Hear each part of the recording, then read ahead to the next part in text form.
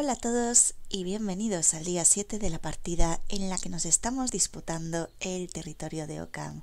Yo soy Madagascar Resurrecta y por fin, por fin tenemos el control de África. Hemos logrado más o menos terminar África, nos falta alguna IA por aquí, pero bueno, eh, más o menos ya tenemos África. Eso nos permite hacer ya estrategias eh, para salir fuera, ¿vale? Salir fuera del continente. Eh, todavía no hemos empezado a ello. Veremos en los siguientes días eh, qué planes tenemos de expansión. Todavía ya os digo, no lo sé, así que tampoco puedo comentar nada al respecto, pero sí voy a comentar los cambios que ha habido en todas las en todas las facciones, digamos, en todas las expansiones del mapa. Bueno, a ver por dónde empiezo. Muchas cosas. Lo primero, eso, sería eh, la de los resurrectos, que ya tenemos África. Eso eh, por nuestro lado, ¿vale? Por nuestro lado. Ahora nos toca defender el territorio que hemos conquistado y ver eso, dónde nos vamos a expandir. Sobre nosotros hay una eh, coalición que es Resistencia Anti-Apache que tenía el control de toda Europa. Vemos que los apaches eh, están en guerra con ellos y ya han conquistado gran parte de este territorio. Por aquí vemos ya a Irak también, madre mía. Eh, van muy rápido, ¿de acuerdo? de todas formas, van rápido, pero yo creo que sí que les están plantando bastante cara porque eh, llevamos ya varios días y creo que llevan varios días en guerra, luego están resistiendo. No sé, chicos, no sé qué pasará aquí en este frente, pero nosotros lo tenemos que tener en cuenta, eh, más que nada porque, eh, claro, los apaches nos están rodeando. Tenemos aquí a los apaches por todo Oriente Medio, ¿De acuerdo? También eh, se siguen expandiéndose por Europa. Eh, tendremos todo el frente rodeado eh, de apaches, por decirlo así, no sé cómo explicarlo. yo ya estoy en guerra con, con un par de apaches, más que nada por cosas de mar, ¿vale? Ya sabéis que los territorios y trapicheos que hay por aquí en mar siempre ah, implican guerras, ¿de acuerdo? Tenemos que defender territorio, entonces digamos que ahora mismo nuestros territorios están separados por el mar, entonces claro, eh, las batallas de momento, al menos las mías, eh, son batallas eh, marítimas. Pues poco a contar de aquí. Eh, estoy a la espera a ver qué pasa. Estoy siguiendo esta guerra, eh, claro, desde, desde fuera, porque ya sabéis que yo solo veo manchas de color, no comparto mapa con ninguno de ellos. Así que bueno, lo que puedo comentar es eso, que ahora la frontera Apache está aquí. Esto es eh, territorio de la resistencia anti-Apache. Y bueno, Apaches se están comiendo el mundo, fijaos cómo van ya. Persia es Apache, Turquestán es Apache. Aquí teníamos varios varios territorios. vemos a Cabaros que sigue. Ah, no. Ah, no. Iba a decir, sigue siendo Ronin, pero eh, ahora veremos a ver a qué imperio se ha unido. Ahora lo miraré. Vale, aunque se haya unido, sigue siendo Ronin si no está. Em, si no es oficial, pero ahora miraré porque eh, como van cambiando de banderas, no tengo muy claro ese, esa coalición cuál es. Ahora lo miraré.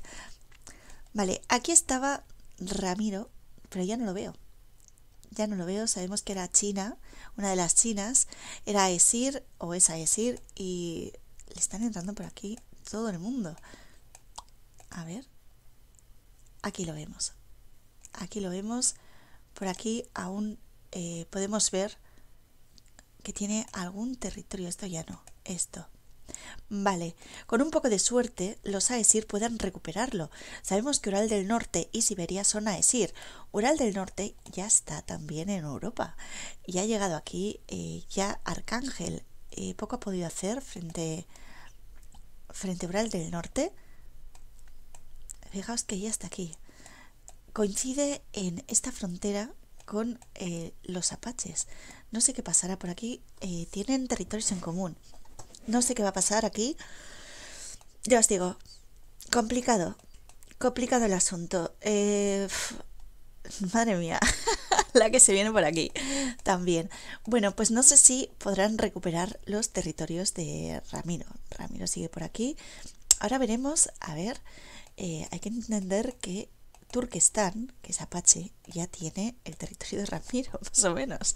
Se lo ha quitado a, a otros jugadores. Aquí tenemos a eh, la coalición potencias plus ultra. Están pegándose con los Aesir, por lo que parece, y con los apaches. Em, tenían más territorios por aquí también. Eh, me temo que eh, el asunto para ellos eh, no parece ir tan bien como para, para los apaches o para los Aesir. Ya os digo que todo esto lo estoy comentando, pues estoy viendo lo mismo que vosotros, ¿de acuerdo? He quitado las tropas aliadas mías, por decirlo así, pero esto es lo que veo yo en el mapa, lo mismo que estoy mostrando ahora. Entonces, claro, muchas veces estoy haciendo hipótesis. Yo, por lo que veo, por lo que veo, Siberia eh, está eh, quitándole el territorio a las potencias eh, plus ultra. No veo, tiene por aquí alguna ciudad todavía. Ya no sé si podrá resistir ya no sé si podrá resistir. Dejémoslo ahí. Ya veo que Ramiro está tomando aquí posiciones. Eh, si por lo que sea los Aesir consiguen recuperar el territorio de Ramiro, podrían resucitarlo. Me refiero que esos territorios pasarían a Ramiro de nuevo, no hace falta que los conquiste él, mientras esté en la coalición. En esta partida que eh, por las normas del evento, no de las partidas, sino del evento, que aparte de las normas de la partida tenemos otras del evento que, que bueno, los que queremos el territorio de Ocam tenemos que seguir. Eh, pues según esas normas, eh, una vez que nos falla un jugador, si hemos tenido cinco, ya no se puede sustituir. Eso es para evitar los relevos, ¿de acuerdo? Porque, claro, si yo dijera, no, es que pueden entrar cinco en una facción y luego aceptar nuevos miembros, porque imaginaos los que podrían entrar ahí, en plan de no, no, yo soy Ronin hasta que pueda entrar dentro. Entonces, claro, para evitar eso, he puesto esta, esta norma, que es un poco rara y un poco rollo, pero, pero bueno, aunque muchas de las facciones que estamos no lo haríamos, pues mm, yo no sé todas las facciones si lo harían o no. Entonces, para evitar eso, eh, no podemos sustituir miembros. Entonces, claro, un miembro que sobrevive y luego lo podemos recuperar es muy valioso. A ver si los Aesir pueden hacerlo con Ramiro, aunque por aquí veo unas luchas... wow, mm, no sé qué va a pasar por aquí. Vale, aquí vemos a Sumatra, que es de los Dark Ravens. La verdad es que está resistiendo muy bien. ¿Qué vemos por aquí, Brunei? Vale. Eh, vamos a ver, vamos a ver qué, pueden hacer aquí en islas. Filipinas, que veíamos que estaba tocando, eh, atacando a Papúa, ahora ya de Papúa un poco queda. Vemos también aquí Australia Occidental, vemos la misma bandera. Ahora miraré qué bandera es. Vale, pues es una coalición. Vale, aquí hay otra. Una coalición que debe ser Ronin, porque creo que no la he registrado. Nueva Zelanda creo que sí que está registrada. De hecho, sería una facción oficial, pero no parece que esté expandiéndose. Madre mía, chicos, qué sueño tengo a estas horas de la mañana. Bueno, vamos a América del Norte. Aquí está Líderes con Alberta. Es Aesir. Sabemos que los otros Aesir vienen por aquí. ¿Lograrán conectar territorio? Eh, no sé cuál es el plan. No sé con quién está en guerra. Aquí vemos a la UNSC, de acuerdo, Mexicano del Norte y Sur de Estados Unidos. Están en guerra con Venezuela. Eh, Venezuela ya ha creado su facción Ronin. Vemos que todo el sur de América, eh, bueno, excepto estos eh, inactivos, ¿de acuerdo? Son ya de esa coalición. Esa coalición está en guerra con la UNSC. Lo que ya no sé, líderes con quién está en guerra, vamos a ver. Vale, solo con Alaska. Luego, por el momento, Alberta y todo lo que es la UNSC nos están pegando ha venido por aquí. De, acuerdo. Aquí vemos a Mauritania, que ha conquistado una isla. Y por aquí está Libia también. De acuerdo, están conquistando eh, ya supongo que para seguir en la partida. Y poco más contar por aquí. Aquí, eh, por lo que veo, Mexicano del Norte eh, de la UNSC está ya entrando en Venezuela. Eh, como os decía, estas cosas eh, puedo mirar las bajas en el periódico, pero eh, vamos a ver. vamos a ver. Vamos a ver qué vemos aquí. Hay que pasar todo. A ver, Venezuela. Mira, aquí lo tenemos además.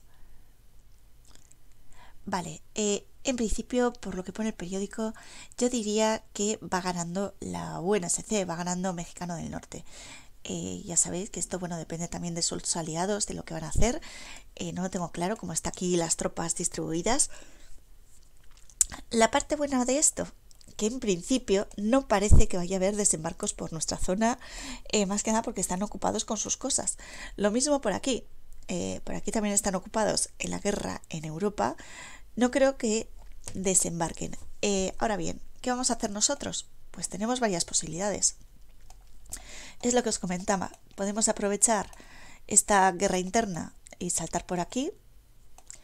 Podemos saltar a Europa viendo eh, todo esto, lo que está pasando por aquí. También podemos saltar a Europa o podemos intentar entrar por aquí, por Oriente Medio o directamente a, a Asia. Otra opción, ir a las islas. Es otra opción, pero no sé. La de las islas la veo menos viable. ¿Para qué queremos dos frentes de islas? Eso es menos viable. Pero bueno, opciones tenemos muchas, la verdad. ¿Qué queréis que os diga? Eh, no sé, lo hablaremos a ver hacia dónde nos toca expandirnos. Y no lo sé. A ver, lo de América del Sur, viendo que están en guerra y tal, no es una mala cosa. Eh, no sé qué hará Brasil del Norte o Bolivia pero Venezuela parece que ya tiene menos tropas. Claro, ¿cuál es el problema de pasar aquí?